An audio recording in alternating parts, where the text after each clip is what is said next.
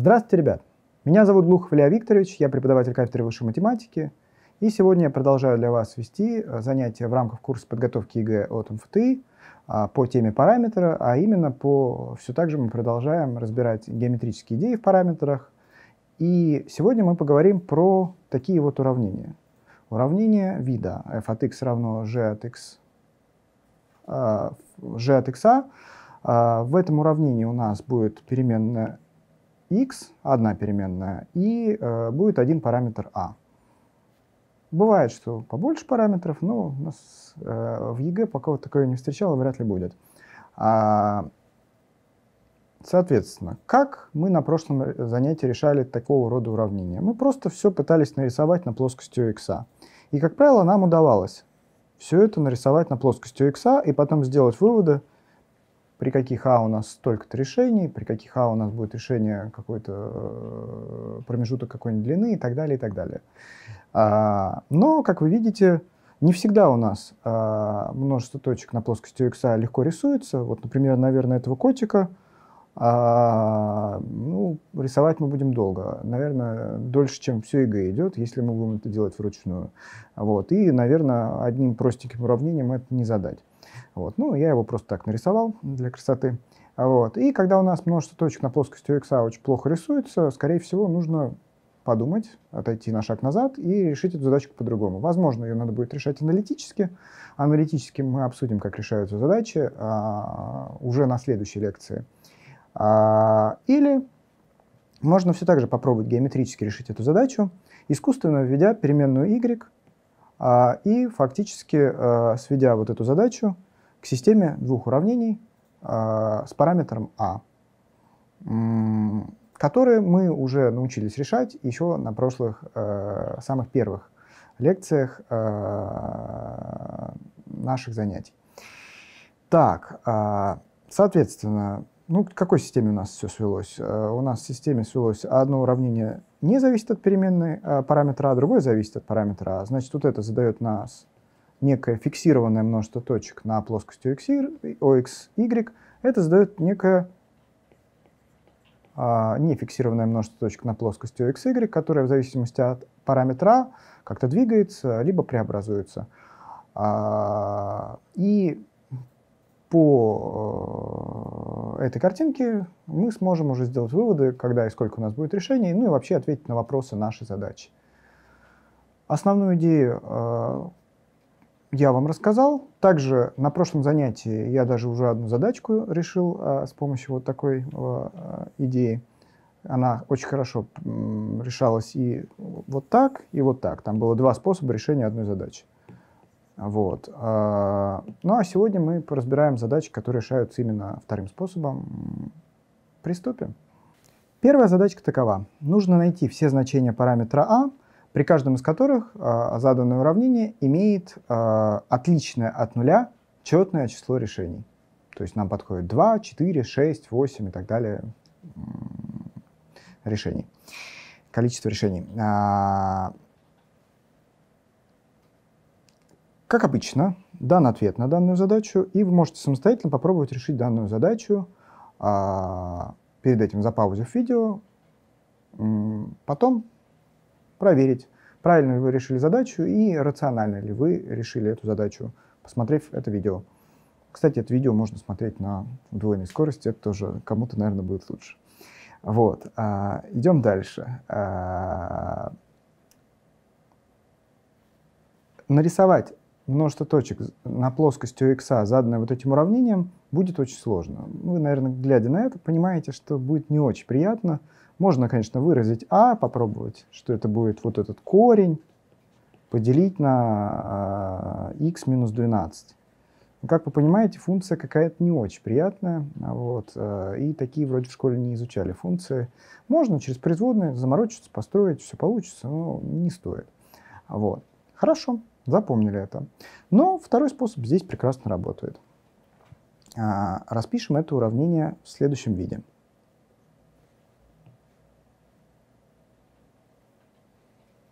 Перетащим влево все, что содержит параметр а.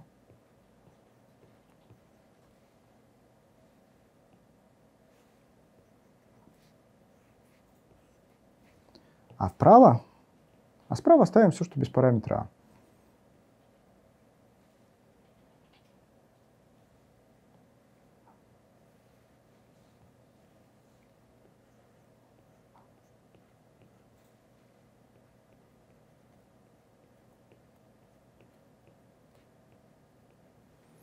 Теперь у нас не было переменной y, но она появится.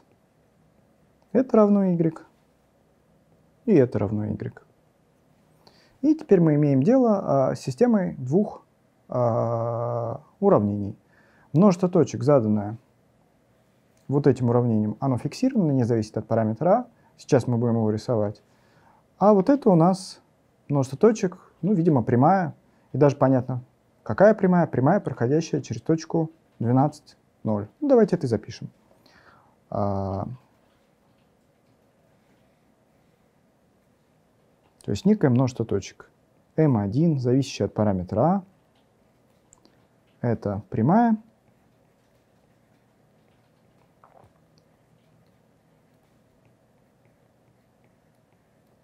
проходящая через точку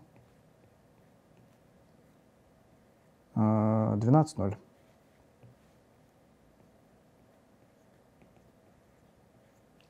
И параметр А здесь отвечает за угловой коэффициент данной прямой. То есть фактически параметр А отвечает за вращение прямой вокруг точки 12,0. Понятно? Давайте это как-нибудь изобразим схематично. Вот у меня точка 12,0, параметр А — это тангенс вот этого угла. Ясно? Пойдемте дальше. Давайте теперь нарисуем множество точек, заданное а, вторым уравнением. То есть мы хотим понять, что есть m2. Ну, поехали. Просто будем в лоб... Рас... Э, здесь симметрии вроде нету, то есть если заменять x на минус x, к сожалению, меняется вот это слагаемое, и, в общем, нет у нас здесь симметрии относительно оси у y. Не получится схалявить, но будем в лоб раскрывать модуль. Это равно.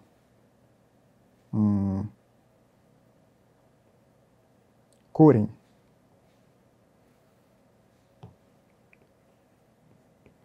от 6х плюс 2х минус x квадрат, если x больше либо равен нуля и равняется корню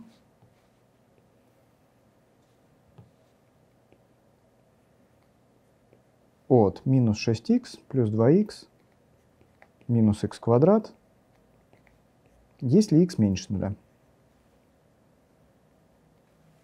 Поехали дальше y равняется. Под корнем можно выделить полный квадрат. Это приятная операция. А что здесь получается под первым корнем?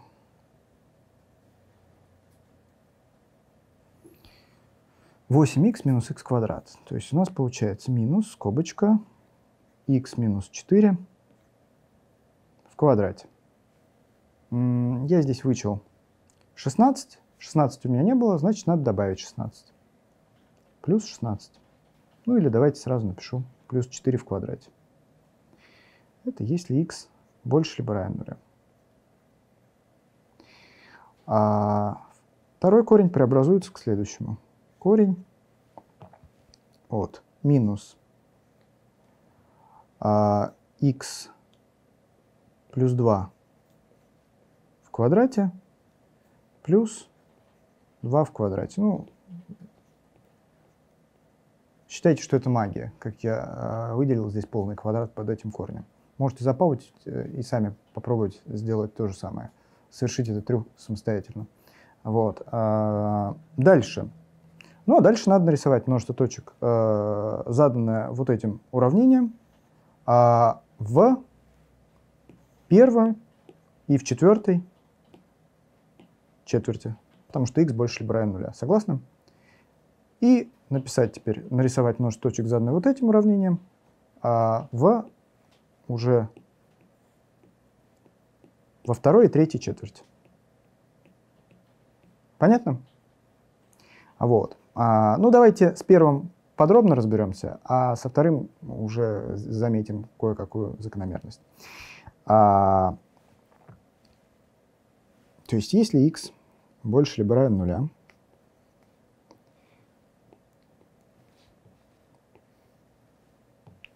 то y равняется вот этому корню.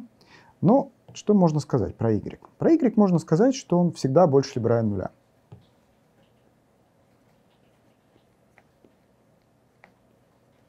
Возводим квадрат теперь левую и правую часть. Когда мы понимаем, что левая и правая часть э, не отрицательная, то это уже будет равносильный переход. Возведение в квадрат левую э, и э, правой части нашего уравнения. y в квадрате равно 4 в квадрате минус x минус 4 в квадрате. Давайте это немножечко перепишем. y больше либо равно нуля. А вот если я вот этот, эту скобочку перетащу влево, то получу уравнение окружности с центром в точке 4, 0 и радиусом 4. Согласны? Ну, я так и напишу. Окружность с центром в точке 4, 0 и радиусом 4. Хорошо. Ну а, а что вот это такое? Ну, это, по-моему, у меня просто, можно сказать, полуокружность.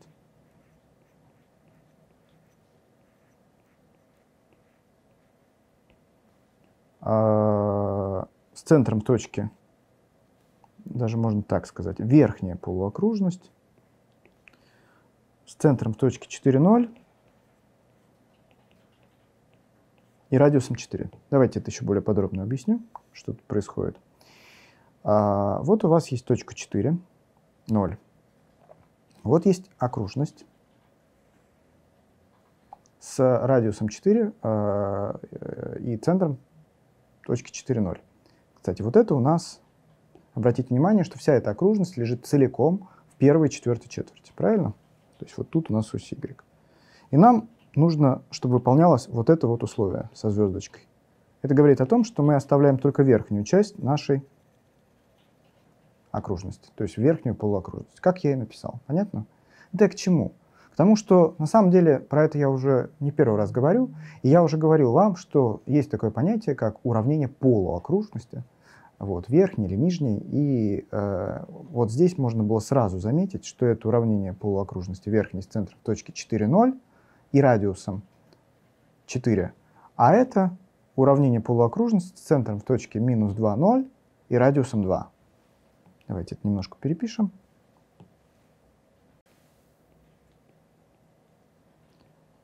Ну, тут даже вот так можно написать. Это объединение двух полуокружностей. Полуокружность верхняя. И там, и там верхняя полуокружность, потому что перед корнем, перед каждым из корней стоит плюс. Верхняя полуокружность центром точки 4,0 а, и радиусом 4. Здесь же у нас или это верхняя полуокружность,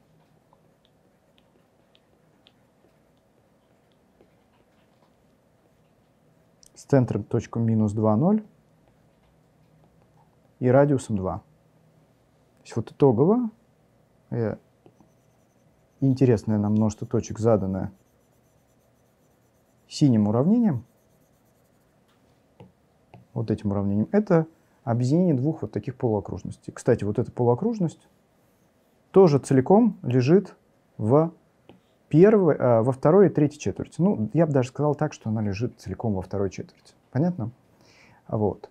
А, я думаю, все. А, все водные данные по, для рисования мы получили. Множество точек М1 и М2. Давайте их нарисуем. Вот мы нарисовали наши искомые две окружности, верхние, с центром точки 4,0 и радиусом 4, и э, центром в точке минус 2,0 и радиусом 2, синим. А также мы нарисовали красное множество точек, то есть m1, зависящее от параметра а, которая, э, это у нас прямая, вращающаяся вокруг точки 12,0, а, и параметр А отвечает за угловой коэффициент данной прямой. Ну, то есть фактически отвечает за наше вращение. А, сейчас прямая изображена при достаточно маленьком А, и как мы видим, прямая не пересекает окружности, полуокружности, и значит система не имеет решений. Ну или наше изначальное уравнение не имеет решения. Это нам не интересно. Давайте начнем увеличивать значение параметра, и потихонечку наша прямая будет подходить ближе к нашим полуокружности, и в какой-то момент она пересечет одну, о, э, коснется одну из полуокружностей. А, красное множество точек пересекает синее множество точек в одной точке, и этот случай нам не интересен, поэтому прямую эту мы превратим в пунктирную. Идем дальше. Давайте дальше увеличивать значение параметра и посмотрим, сколько будет пересечений у нашей прямой с синим множеством точек. Теперь будет два пересечения. Ну, если я чуть-чуть увеличу значение параметра, которое я пока еще не нашел, я его найду позже. Идем дальше. До касания нашей прямой с маленькой полуокружностью. Теперь э, прямая пересекает синее множество точек в трех точках. Маленькую полуокружность в одной точке, большую полуокружность в двух точках. Три точки, пожалуй, это не очень интересный случай, это нечетное э, число решений у нашего изначального уравнения. Поэтому эту прямую мы тоже сделаем пунктирной.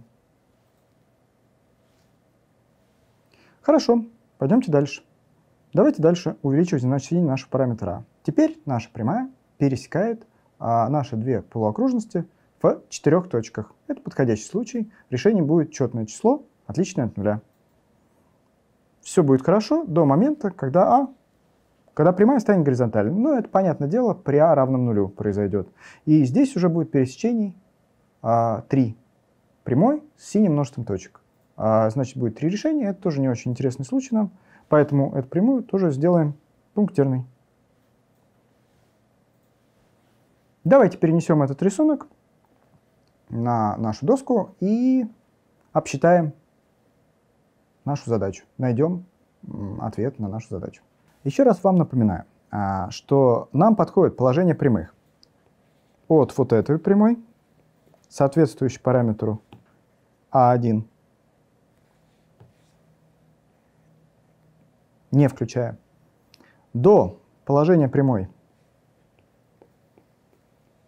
вот такого, соответствующего параметру А2, не включая.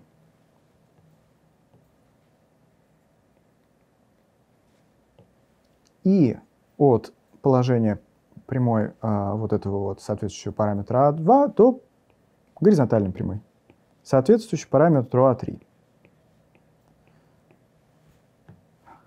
Но опять же, проявим, как это,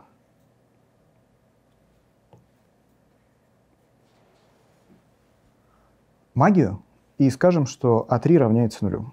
А, потому что ну, горизонтальная прямая имеет э, угловой коэффициент 0, э, и, соответственно, параметр А для горизонтальной прямой — это 0. Понятно? То есть вот это просто уходит э, в 0.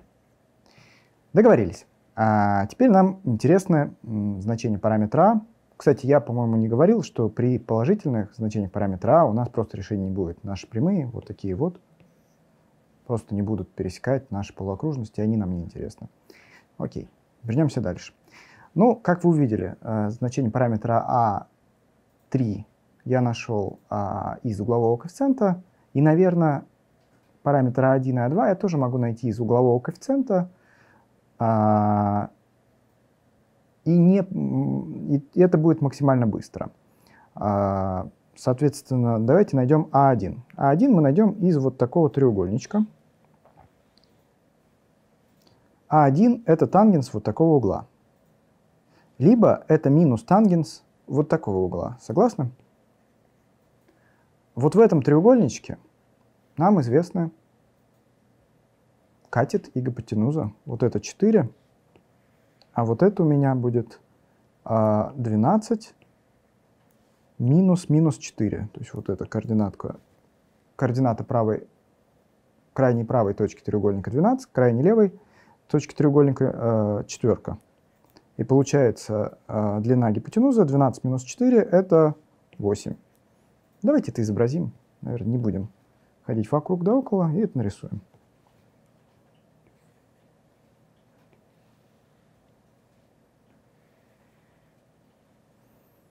Фи,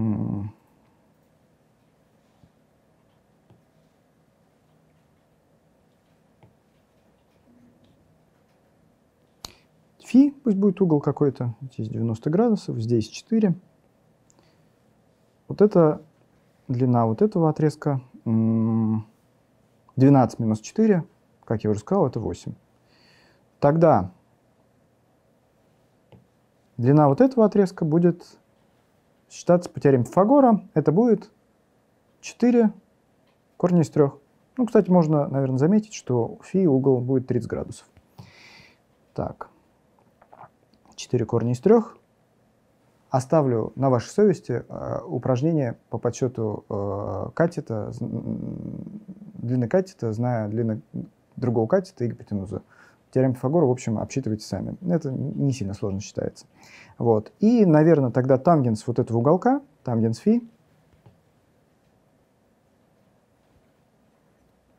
А2, как я напоминаю вам, это минус тангенс фи. Тангенс фи — это отношение вот это, длины вот этого катета к длине вот этого катета. То есть это э, минус 1 делить на корень из 3.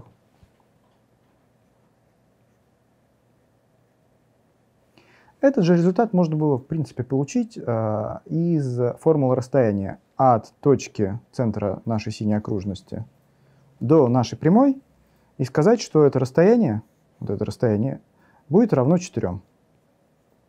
Можно было это сделать. Вы посчитали и даже получили правильный ответ, но точно потратили лишних несколько минут. И, возможно, вы так и сделали, когда решали эту задачу самостоятельно. Поэтому желательно иногда смотреть, чего я делаю я. Если я что-то делаю нерационально, обязательно пишите в комментариях, и мы с вами обсудим. Я тоже смертный и тоже где-то ошибаюсь, либо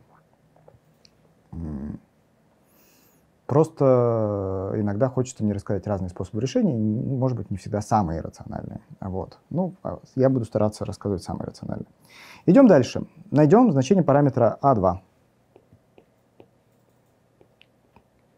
А параметр А2 соответствует зеленой прямой. А, ну и тоже находится А2 из вот такого вот треугольничка. Давайте его нарисуем.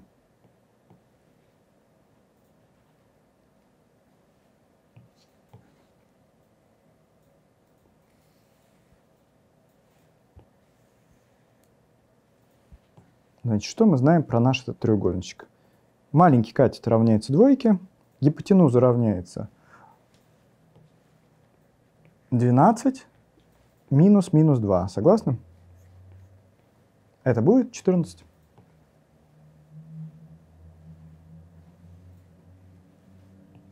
Некрасиво.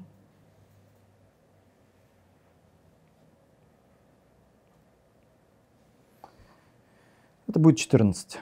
Тогда, раз один катет двойка, гипотенуза 14, то э, другой катет, наверное, у меня будет 2 на корень из 49 минус 1. То есть 2 на корень из 48.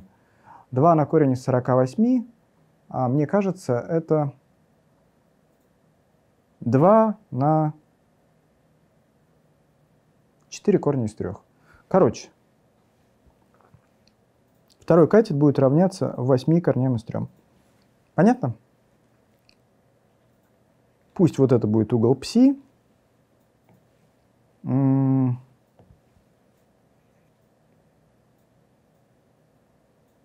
Простите, здесь была описка. Красная А это А1, да?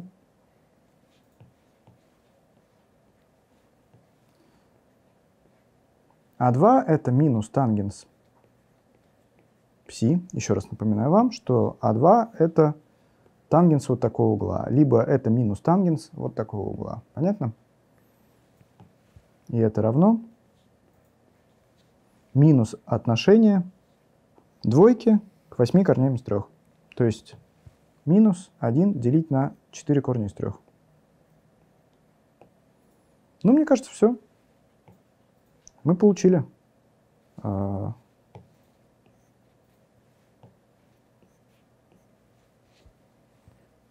искомый ответ. Так, давайте дорисую. Минус 1 делить на 4 корни из 3. Минус 1 делить на 4 корни из 3.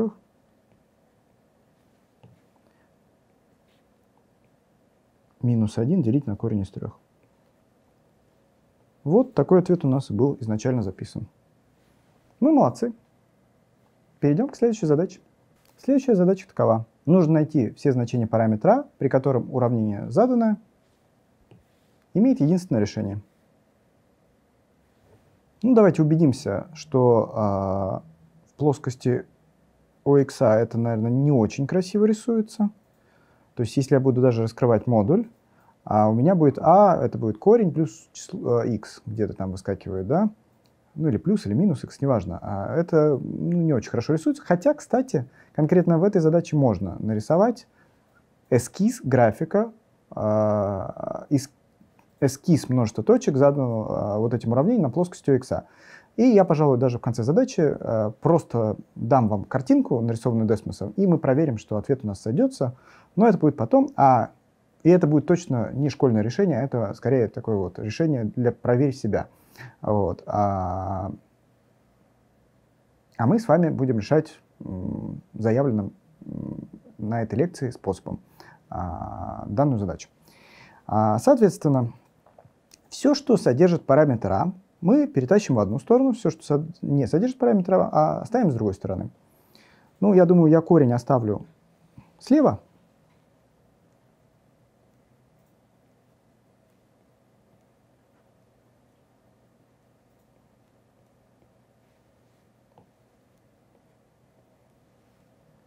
А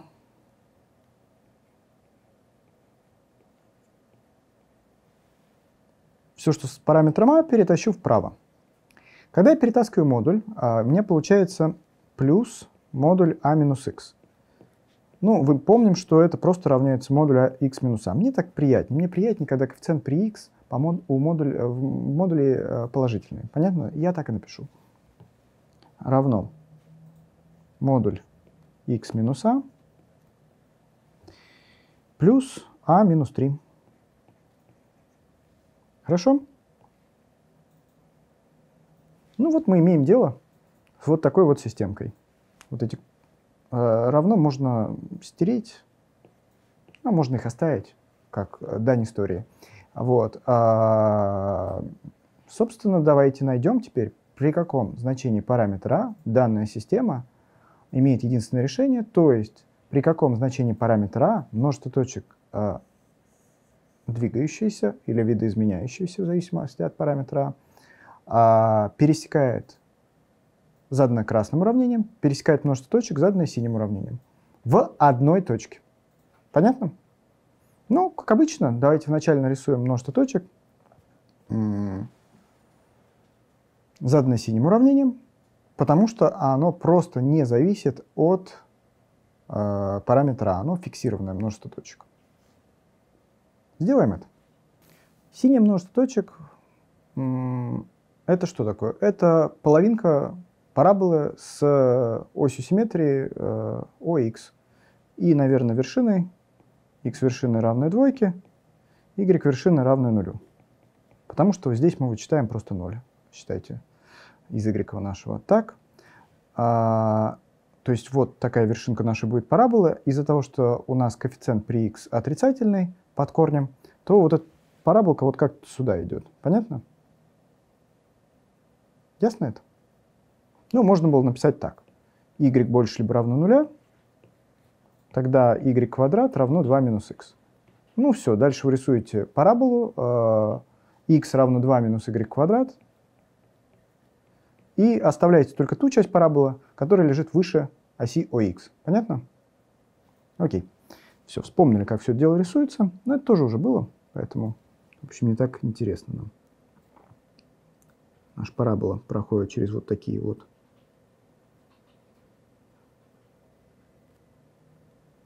точки.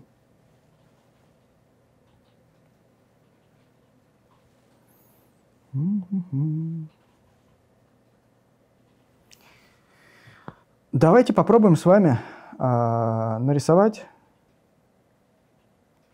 множество точек, э, заданное вторым уравнением, то есть красным уравнением, или просто подумаем, э, что это будет за множество точек в зависимости от э, всевозможных значений параметра а.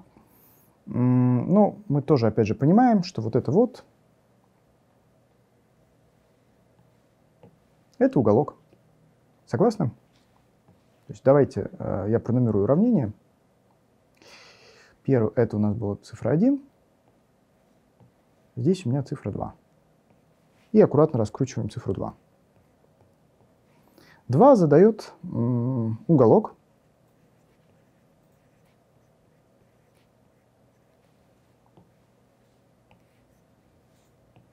с вершиной в точке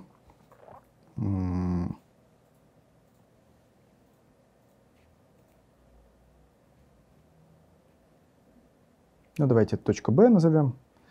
А, x вершина это будет А, y вершина это будет А минус 3. Давайте картин э, цветом объясню, почему это так. А, вот у меня мое А, а вот мое А минус 3. То есть вот эти вот параметры А и А минус 3 как раз у нас э, являются x вершиной, y вершиной нашего уголка. Это уже было. На одной из лекций мы подробно очень останавливались э, на том, как рисуются уголки. Поэтому сейчас мы особо на это не будем заострять внимание. Ну, также про уголок, наверное, я могу еще сказать следующее. Так как коэффициент при модуле стоит единичка, ну или коэффициент вот, да, коэффициент при модуле стоит единичка, это значит, что у угловой коэффициент правой ветви нашего уголка будет единичка. То есть вот здесь будет у нас угол, тангенс которого единица. Ну, то есть здесь будет угол π на 4. Понятно? Давайте тоже изобразим как-нибудь.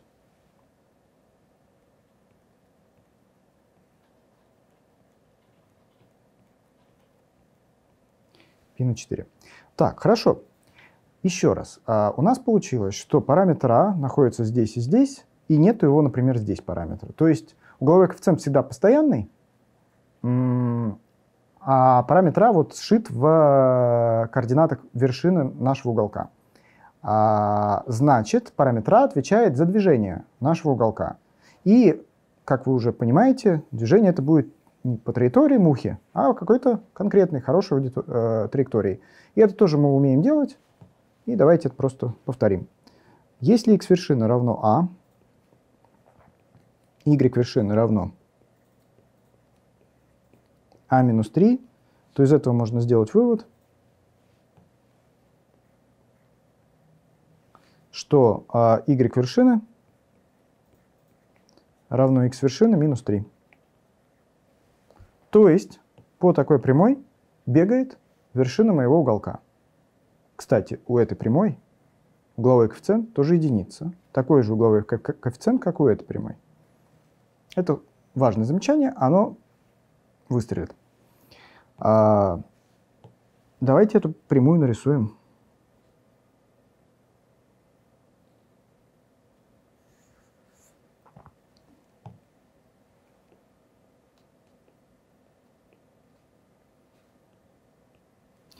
Вот по такой прямой бегает вершинка моего уголка.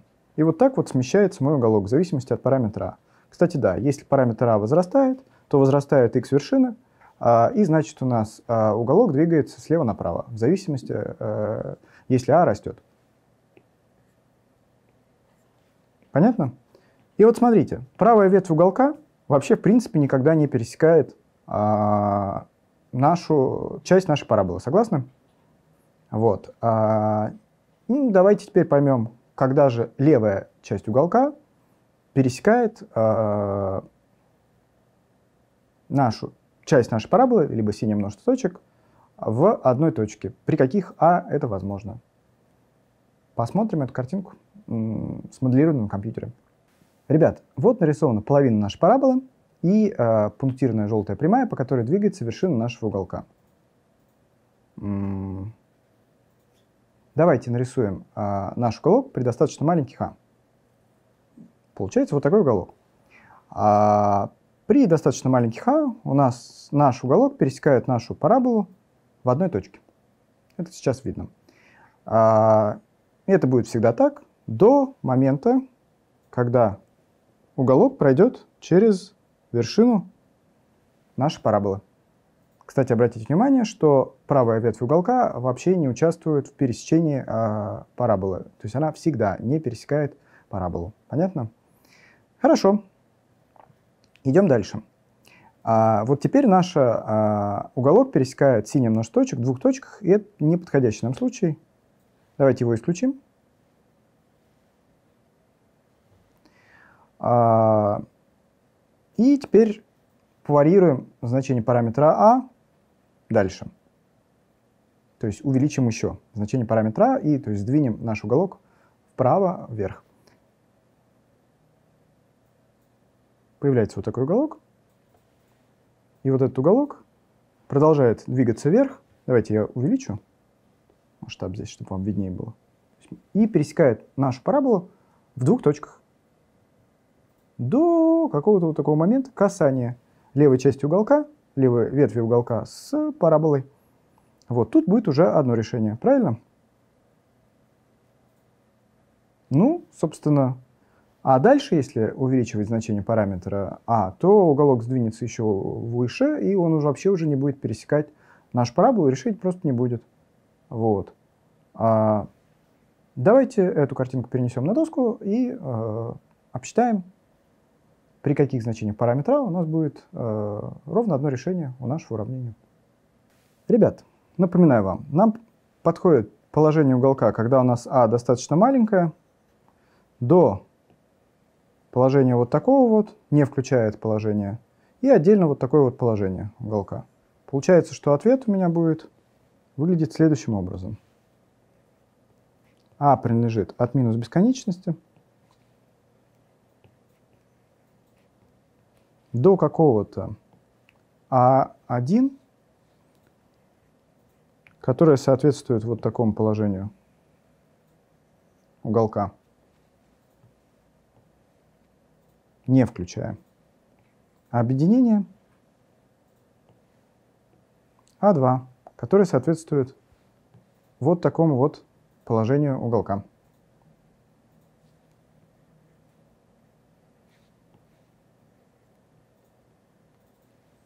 Ну, давайте найдем А1. Из какого условия находится А1? А1 находится из условия, что вот это вот прямая.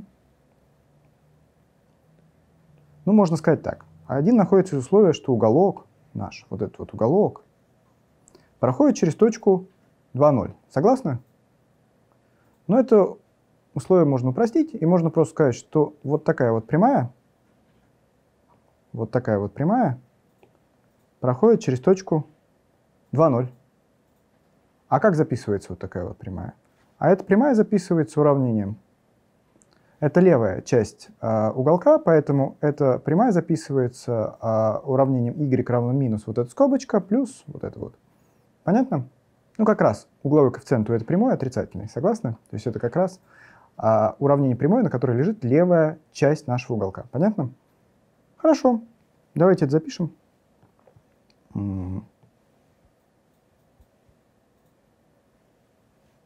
Секундочку. Красоту тут наведем. Так, вот это вот прямая. Задается уравнением y равно минус x минус а плюс а минус 3. Вот. И нам надо просто записать, что э, точка 2,0 принадлежит вот той прямой, которую я выписал. Хорошо? Ну, осталось просто подставить вместо x и y 2 и 0. Вот в это уравнение. И отсюда мы найдем а1. Сделаем это. 0 равно минус, скобочка, 0 минус А1 плюс А1 минус 3. Что у нас получается? У нас получается 2А1 равно 3. То есть А1... Нет, что-то не то получается.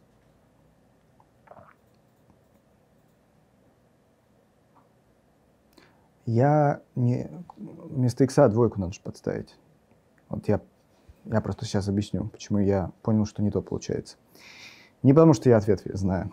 А, 2а1 равняется, э, наверное, минус равно 5, то есть а1 равняется 5 вторым. Ну или 2,5. Согласны?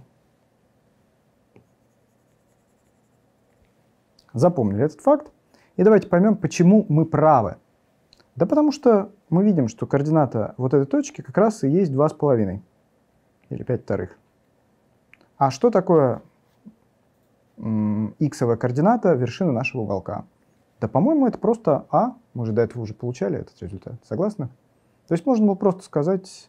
Ну нет, не стоило так просто говорить. А, вот это скорее, то, что сейчас я проговариваю, это скорее воз... способ проверить себя. Понятно? То есть вообще геометрическое решение а, очень легко анализируется на адекватность. Ну, ответ легко можно проанализировать и понять, правильно вы посчитали или нет. Вот. Вроде правильно посчитали один, Хорошо, идем дальше. Найдем А2.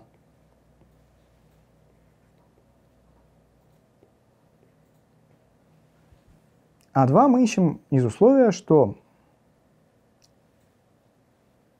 вот эта вот прямая касается вот этой половинки параболы. Согласны?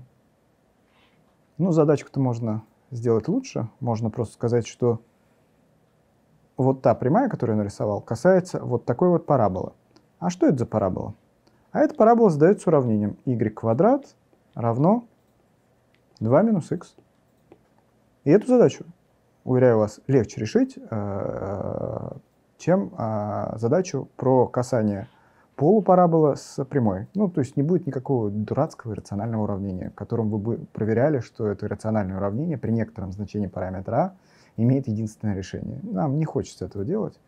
Вот. А проще поступить, как сейчас я предлагаю. То есть, давайте напишем. Прямая. Параметр А2 находится из условия. Прямая L касается параболы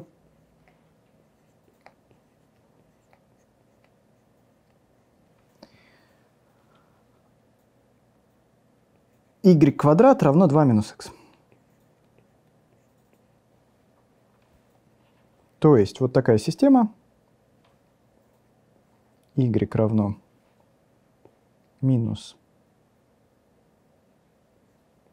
x минус а плюс а минус 3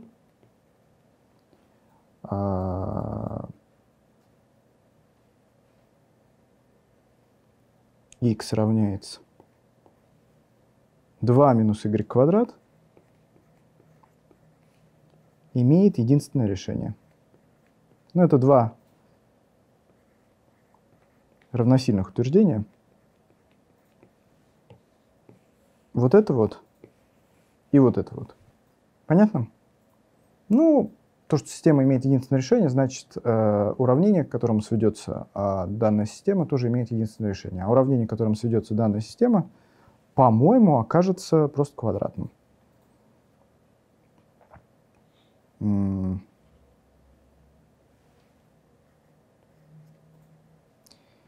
y квадрат минус 2, давайте это запомним, а, минус y а, плюс 2 минус 5 равное нулю должно иметь единственное решение. Ну, давайте напишем для него дискриминант. Дискриминант равен 1 минус 8а плюс 20. И это равно нулю. Так, ну давайте везде здесь поставим А2, А2, А2, А2. И получается, что А2 равняется 21 восьмая. Ну, давайте еще немножечко докрутим это. 20 на 8 это э, 2 целых э, 5 восьмых. Ну, по крайней мере, мы поняли, что А2 все-таки больше, чем А1. Правильно? Это логично, по картинке так и есть. И, в общем-то, ну, похоже, что x координата вот этой точки 21 восьмая. Похоже, вроде похоже. Ну и, собственно, мы получили искомый ответ. А принадлежит от минус бесконечности до 5 вторых, не включая и 21 восьмая. Ребят, третья задачка такова. Нужно найти все значения параметра при каждых из которых а, вот это уравнение имеет ровно один корень. Ну, ответ здесь выписан для этой задачки. Вы можете попробовать самостоятельно решить эту задачу перед этим запаузив видео. Ну а мы с вами продолжаем решать данную задачку. А, а вы сверяйте с ваше решение с моим. А, это касается тех людей, которые смотрят а, это видео в записи. Идем дальше. А, задачка, как и предыдущие две, решается следующим образом. А, здесь, во-первых, а, плоскостью x, наверное, не очень удачно рисуется данное множество, но, кстати, рисуется. И мы даже в конце этой задачки нарисуем его средствами компьютера, не своими ручками, и сверим ответ, что получится вот такой же. Хорошо? Ну, при наличии картинки. Поэтому э, на плоскости, еще раз, увидели, что на плоскости x не очень хорошо рисуется, значит, будем решать ну, тем методом, который решали предыдущие две задачи, а именно искусственно вводив переменную y. А, и сводя данное уравнение уже к системе двух уравнений, каждый из которых задает какое-то множество точек на плоскости x, y, и смотреть будем, а, в скольких точках пересекает а, первое множество, второе множество на этой плоскости, в зависимости от параметра а.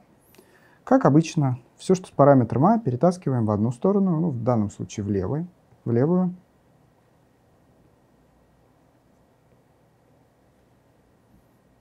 и сразу вводим y, а может не будем вводить y, давайте его чуть позже допишем. Перенесли все влево. Получилось а умножить на модуль x, умножить на скобочку x минус 2. А все, что без параметра, а именно вот этот вот модуль с минусом, перетаскиваем вправо уже со знаком плюсом.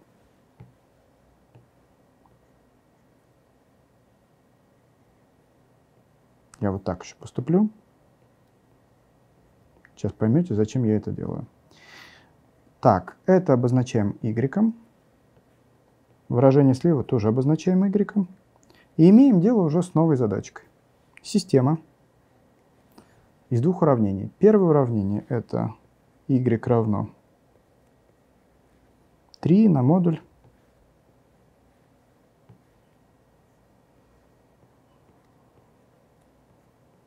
x плюс 2 третьих а второе уравнение y равно а умножить на модуль x на x минус 2. Так, и вот эта системка должна иметь решение. И мы на, должны найти значения параметра, при которых а, должна иметь единственное решение. Мы должны найти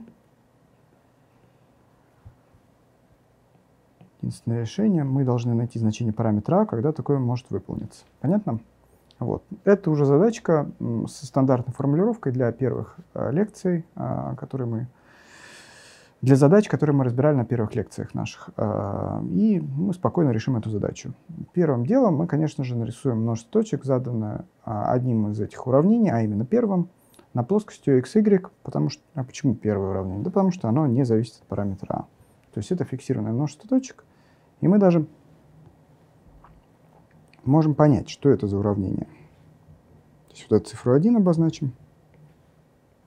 Это цифры 2. 1, уравнение 1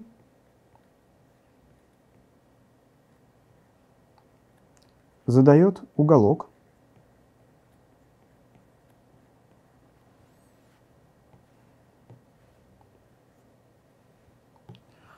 а с вершины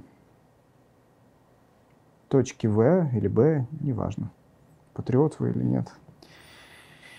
Так, а, координатами. Здесь мы из y вычитаем 0, из x вычитается минус 2 третьих, правильно? Значит, а, вершина нашего уголка будет а, минус 2 третьих 0. Про это я уже подробно говорил, про уголки на первых занятиях, поэтому здесь особо подробно не буду говорить про это. Минус 2 третьих 0. И угловым коэффициентом правой ветви уголка с угловым коэффициентом правой ветви уголка 3. Ну, из вот этой вот троечки. Понятно? Там альфа такой, что тангенс альфа равно 3. Хорошо? Давайте схематично нарисуем, как будет выглядеть наш, а, ну, даже не схематично, а четко нарисуем, как будет выглядеть наш уголок. Из-за того, что у меня а, иксовая координата вершины нашего уголка это минус 2 третьих, то удобно а, в качестве единичного отрезка взять три клетки или 6 клеток. Ну, любое количество клеток кратное 3. А, не, не, делайте вообще большие рисунки, старайтесь. Это очень хорошо, это помогает нам. Так, а, вершина нашего уголка находится вот в этой точке. x, y. А, и еще раз, правая ветвь уголка с угловым коэффициентом 3, левая ветвь уголка с угловым коэффициентом минус 3. Рисуем этот уголок.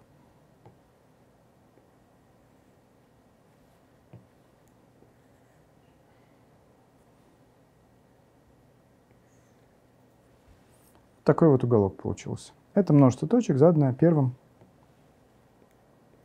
уравнением. Давайте поговорим с вами теперь о том, а, как будет выглядеть множество точек задано э, вторым уравнением а, при различных значениях параметра а. Ну, прежде чем понять, как оно будет э, выглядеть в динамике, то есть при изменении а давайте поймем, как оно будет выглядеть при каком-то фиксированном значении параметра Ну, давайте для а равного единице рассмотрим, как будет выглядеть второе множество точек. Рассмотрим а равно единице. Тогда y будет равен модуль x на x минус 2. Это же равенство можно записать через систему. y равно x на x минус 2, если x больше либо равен нуля и равен минус x на x минус 2. Если x меньше нуля. В принципе, нарисовать параболу заданную вот таким уравнением или заданную вот таким уравнением не представляет сложности. Это будет парабола, проходящая через точки 2,0. А, с ветвями вверх, вверх или с ветвями вниз. А, ну, через точки, пересекающие осью x в точках 2,0. Понятно? в абцисах 2.0. А, ну, можно, если вы хотите, выделить x вершины и y вершину каждой из этих парабол. Давайте тоже это сделаем, но это не обязательно, наверное, была операция конкретно в этой задаче. Здесь будет x минус 1 в квадрате минус 1 при x больше либо равных нуля. Минус x минус 1 в квадрате плюс 1 при x меньше нуля рисуем нашу вот такую вот параболу а при x больше либо равных нуля. То есть рисуем только ту часть параболы, которая лежит в первой и в четвертой четверти. Понятно? Давайте это сделаем. А, вершина нашей параболы а, имеет координаты 1 и минус 1. Согласны? То есть вот здесь находится э, вершина нашей параболы. Ветви вот как-то так проходят, проходят через точку 0, э, 0 и точку 2, 0. Это парабола. И как так она идет. Рисуем только ту часть параболы, которая левее, правее оси y. А, ну, вот что-то такое. Согласны? А, ну, что я еще здесь могу сказать? М ну все, давайте ее нарисуем.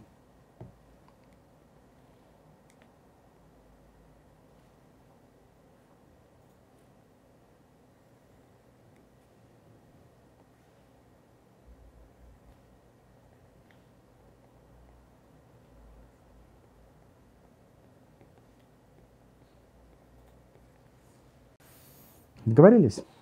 Хорошо. Графика этой параболы, это, ну, наверное, отраженная парабола вот это вот относительно оси x. То есть это какая-то вот такая парабола. Но нас волнует только та часть параболы, которая левее оси y находится. Понятно? Все такой хвостик там вниз пойдет. Давайте его нарисуем.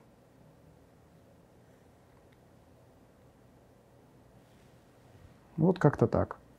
Кстати, ну вот при а равном единице. А сколько у нас будет решений у нашей системы? То есть в скольки точках будет пересекать наша вот эта искривленная а, парабола наш уголок? Ну, вот по картинке, если посмотреть, кажется, что ни в одной точке не пересекает, согласны? Но на самом деле где-то высоко они пересекутся. И причем в одной точке. Правая ветвь уголка с нашей параболой. Ну, это так очень сильно искривил. Вот. А, наглядно я вам это покажу в Десмосе. То есть на самом деле вот это вот функция, квадратичная наша функция при x больше либо равных единице в а, какой-то момент точно быстрее растет, чем вот эта линейная функция. Ну, грубо говоря, производная а, в какой-то момент а, у вот этой квадратичной функции будет больше, чем 3, чем у угловой коэффициент вот этой вот прямой. Понятно? И они точно пересекутся. Понятно? А вот. Это, это логично, это можно и без производных объяснять, но вы же одиннадцатиклассники, мы можем уже такими мощными инструментами иногда оперировать. Вот. А, идем дальше. Ну, давайте еще для удобства подумаем, а что будет происходить, если... Так, а теперь давайте подумаем, а что будет происходить при э, а других, отличных от единиц? За что вообще отвечает параметр а в данном уравнении? А, я про это уже говорил. Параметр а отвечает за сжатие нашей кривой к оси x. То есть, например, если я сделаю а равное 1 второе вместо единицы, понятно? Еще раз. Вместо единицы напишу 1 вторую. То тогда моя параболка станет какая-то вот такая. И как вы видите, сколько раз пересечет парабола наш уголок. Но если честно, все так же в одной точке он и пересечет этот уголок. Вот эта штука все равно в какой-то момент будет быстрее расти, чем вот эта прямая. Понятно? Хорошо, одна вторая нам, кстати, тоже подходит. Но вы, наверное, догадываетесь, что нам в принципе подходят все А не отрицательные. Согласны? Уже сейчас мы это поняли. Вот. А теперь, если А у нас станет отрицательным, ну, например, минус единица, то моя вот эта искривленная парабола просто отразится. И конкретно вот такая парабола пересечет всего в одной точке наш уголок. И будет все так же одно решение. Вы можете спросить, ой, а может быть вообще при всех А у нас а, будет одно пересечение? Ну, конечно, нет. Я могу на скидочку вам, вам такую параболу еще предложить. Например, с коэффициентом где-то А равно минус 1 десятая, вот, например. То, наверное, будет наша искривленная парабола выглядеть так как-то. И будет две точки пересечения с уголком. Понятно? Вот я это изобразил. А вот. А, ну, собственно, чтобы понять, а, сколько будет пересечений при различных значениях параметра, давайте эту картинку нарисуем уже более четко а, в Desmos, а, для, просто для наглядности. Конечно, я на самом деле могу и без Desmos решить эту задачу, и, но мне хочется, это все-таки не в чистом виде, мы как бы мы не эмулируем ситуацию, что я э, решаю задачки на ЕГЭ. Здесь, как видите, использую разные цвета и вообще много разных прикольных инструментов использую том числе просто планшет. Вот. А мы просто, я пытаюсь вас обучить, как решать поставленные задачи и как, бы, как видеть это, ту или иную кривую. Понятно? Идем дальше. Вот на нас смотрит наш уголок фиксированный и э, множество точек, заданное вторым уравнением, э, при а равном единице. Как и обещал вам, наглядно показываю, что при а равном единице наш, вот это вот, наша искривленная парабола, красное множество, э, пересекает уголок в одной точке. Понятно? На предыдущем рисунке этого не было видно. Давайте э, уберем красное множество, параболу, и нарисуем нашу параболу при каких-то а достаточно маленьких. То есть наша парабола отразится относительно оси x, вот это вот, вот это вот, и потом еще и растянется вниз, как бы, ну, вверх. Как бы. Показываю, как это все будет выглядеть. Будет вот что-то вот такое. Понятно?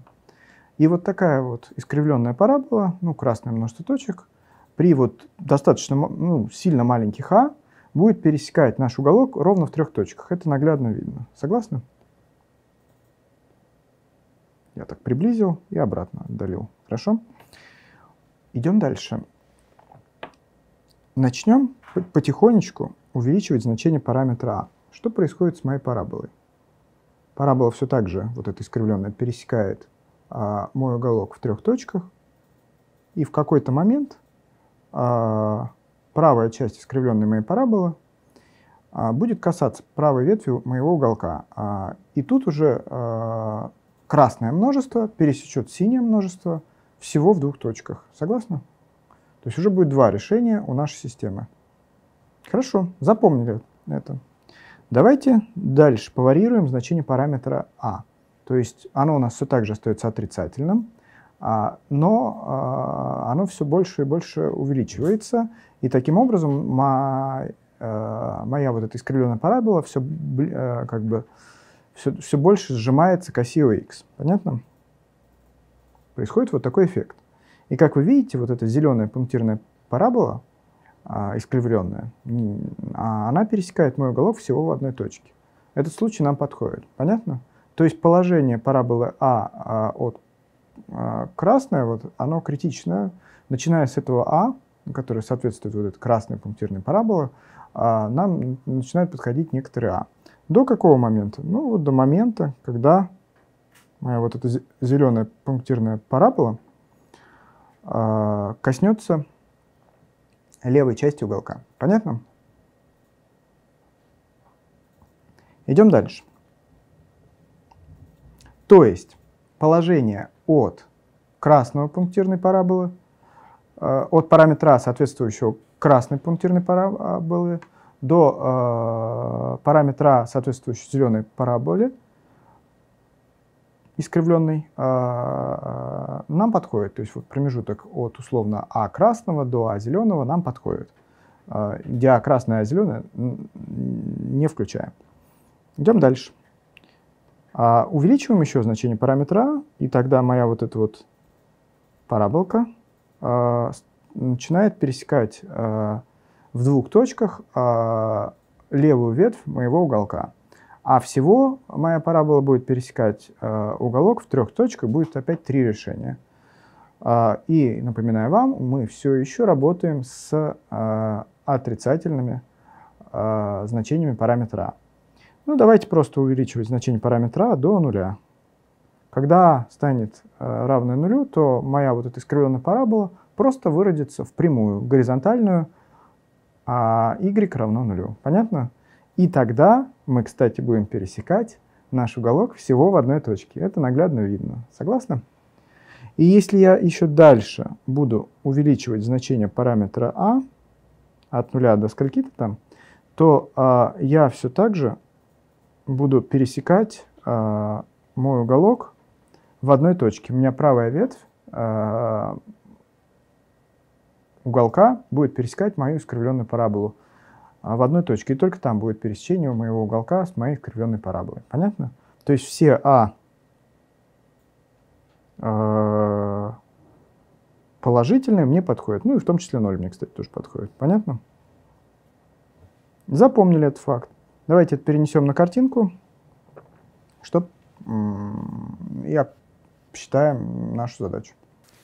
Еще раз, ребят, а, Параметр А отвечает за сжатие а, вот искривленной параболы к оси ОХ. А, и нам подходит положение параболы от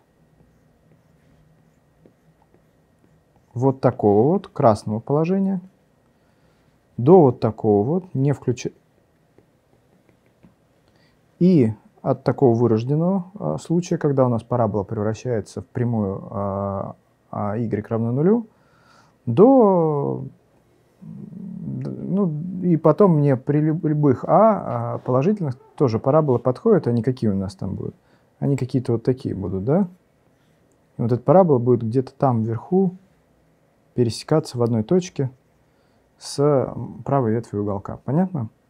То есть, э, еще раз, ответ тогда у меня будет интервал и вот такой луч, где э, интервал будет от А1, то есть, ну этот А1 берется из положения вот такой параболы, понятно? Из вот такой параболы. До А2, то есть до такого положения параболы. Вот это А2 отвечает за такое положение параболы. И от А3, то есть, ну, А3 можно сразу сказать, что это 0, а, до плюс бесконечности нам подходит. То есть, вот давайте сразу. Здесь напишем 0. Ну и, собственно, как вы, кстати, уже заметили, ответ у нас как-то так схематично и выглядит. Согласны? Ага. Теперь осталось найти А1 и А2. Давайте это сделаем. Найдем А1. А1 ищется из условия касания. Вот такой вот прямой. И вот такой вот парабола. То есть фактически э, мы рассматриваем касание правой ветви уголка то есть, когда у нас у этой штуки модуль раскрывается со знаком плюс. И касание а, правой параболы нашей искривленной параболы. То есть вот этого. То есть надо рассмотреть касание вот этого и вот этого. Понятно? Ну, давайте найдем. А один ищется из условия, что вот такая вот система y а, равная 3 на x плюс 2 третьих, y равная а на x квадрат минус 2x,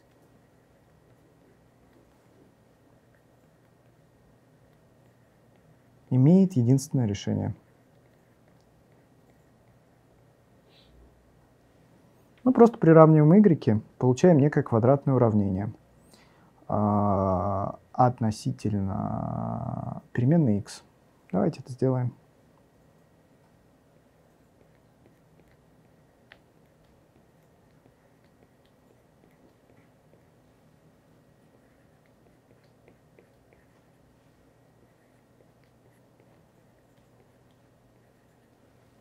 Мы хотим сказать,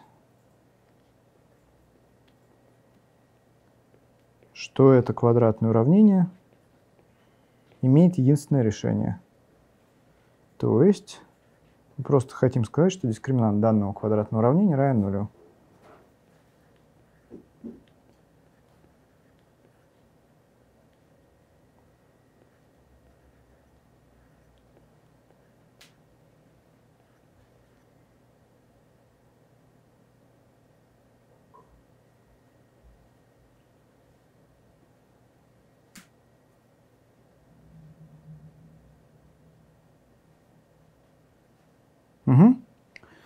То есть мы получаем квадратное уравнение относительно параметра а. а. Ну вот здесь везде а, который я расписываю, это везде а1. Не хочу это писать, долго будет все.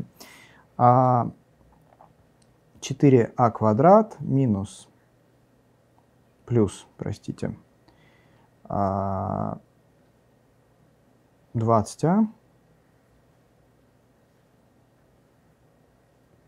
плюс 9 равно нулю.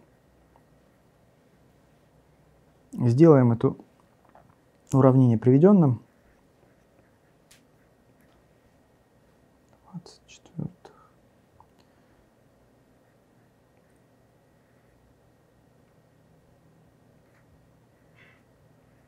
Десять вторых А плюс девять четвертых. И э, из этого уравнения по теореме Виета я могу получить корни. А равно минус 1 второй или А равное минус 9 вторых. Так. Хорошо. Я нашел два различных А, а вроде по картинке у меня всего один А подходил, да? Что же за А такое я интересное нашел?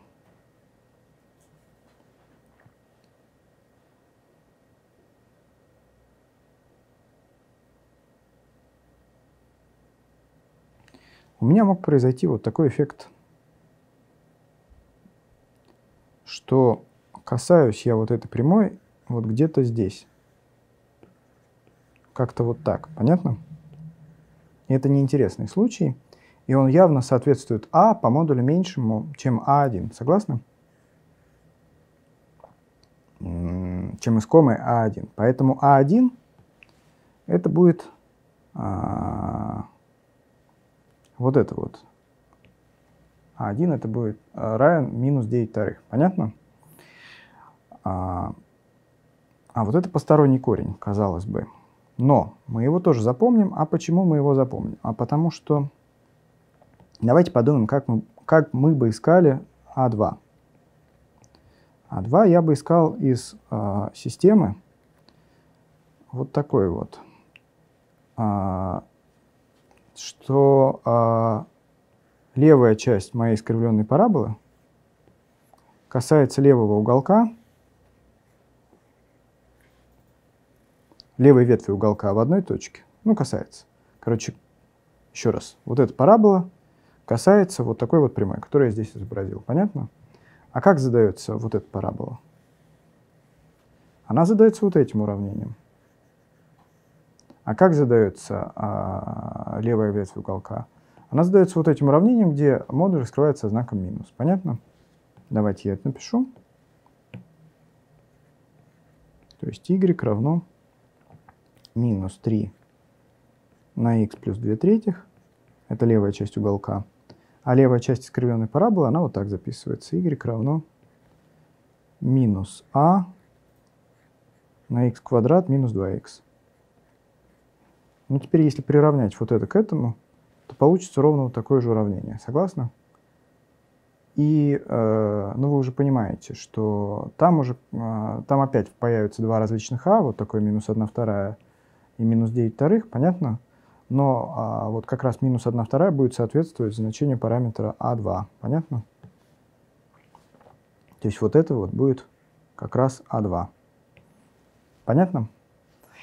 Ну и, собственно, все, задачку мы решили. У нас как раз получился промежуток от минус 9 вторых до минус 1 второй, не включая минус 9 вторых и минус 1 вторую. И луч от нуля до плюс бесконечности, включая 0. Мы молодцы. Мы решили данную задачу. Вот. А тут могут у вас возникнуть резонные вопросы. А как мне быть в ЕГЭ? А, ну, в ЕГЭ, наверное, все-таки то, что я сейчас проговариваю устно, желательно расписать словами. А, и, и вот мое решение, оно, наверное, не презентует идеальное решение на ЕГЭ, потому что нужно очень много текста писать, а на экране это выглядит уже не очень хорошо и громоздко. Но зато я все проговариваю, на крайний случай вы можете просто отмотать а, мою речь и послушать еще заново. А, или просто задать вопрос в комментариях, я отвечу, либо во время вот, трансляции, а, либо уже потом, ну, чуть позже я буду иногда читать комментарии по этому видео. На этом все по этой задаче. Перейдем к следующей задаче. Ребят, как я и обещал, для любителей матанализа в школе, сурового матанализа в школе, я предлагаю вам решение а, данной задачи также э, через плоскость OX. А, ну, как вот здесь в Десмосе вместо А я написал Y, потому что он не очень понимает, что такое А. А, вот. А, и, собственно, кривая, заданная вот этим вот уравнением изначально моим на плоскости OX, ну или в нашем случае OXY, а, вот она здесь изображена. Ну, вот как-то так она выглядит. Понятно? Такая сложная кривая. Ее на самом деле с помощью производных, всяких там исследований функций можно построить. Вот эскиз, по крайней мере, график. Эскиз множество точек заданного вот этим уравнением легко довольно построить. Можно. То есть, ну, меня бы это потратило минут 20 времени. На самом деле я быстро, хорошо владею матаном. Вот. А, ну и давайте посмотрим. Если у меня А...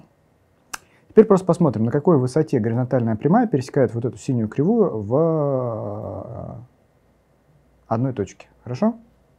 Если у меня будет горизонтальная прямая, ну, где-то на высоте, как вы видите, здесь на высоте минус 6, ну, или любой э, числе меньшего, наверное, э, как вы уже догадываетесь, минус 4,5, у меня будет трех точках пересекать вот эту горизонтальную прямую, а вот эту синюю. Согласны? И при А равном минус 4,5, ну, который мы уже нашли, а, как раз будет пересечение а, 2. Согласны? Дальше, а, начиная от А э, равного минус 4,5 до